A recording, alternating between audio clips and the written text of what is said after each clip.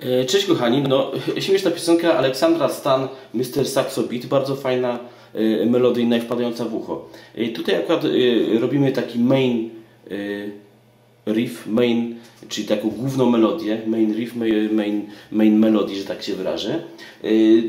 Tutaj można było tak, zagrać na dwóch strunach. Struna czwarta i trzecia, strój standardowy E, A, D, G, B, E. Zaczynamy od struny czwartej na dziewiątym progu. Posłuchajcie, jak to by brzmiało i zaraz to rozpracujemy.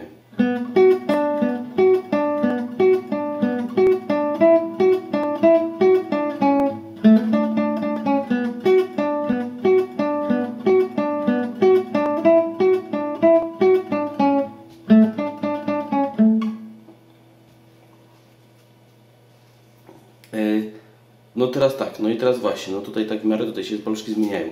E, Struna czwarta 9, struna trzecia 11. Ty i później 7. Czy taki trójkącik. 9, 11, 7.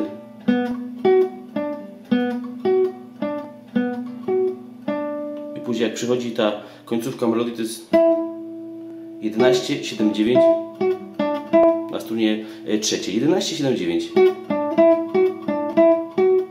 Później, później e, za e, czwartym, za trzecim razem przechodzimy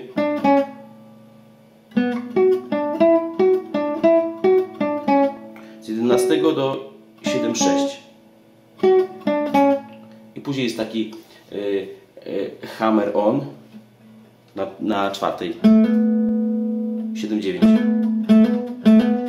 I z powrotem struna trzecia, trzy siódemki i szóstka.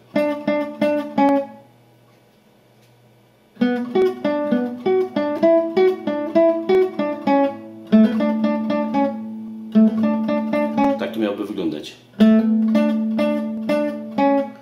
7, 9, 7, 7, 7, 6. Raz, dwa, trzy, cztery. Czyli łącznie cztery dźwięki. 7, 7, 6.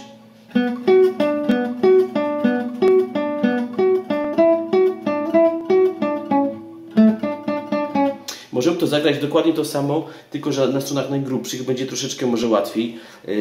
Yy, struna najgrubsza na siódmym progu, dźwięk, dźwięk H, tak samo jak tutaj był dźwięk H, czy dźwięk B po angielsku, tak samo tu. I teraz zobaczcie, jakby to brzmiało na grubszych.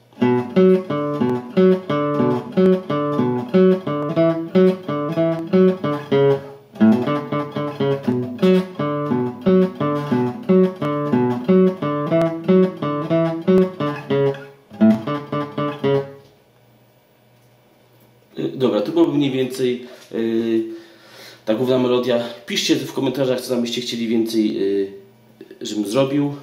Uwagi, nieuwagi, yy, pochlebne, niepochlebne piszta i do zobaczenia następnym razem, next time. Papatki.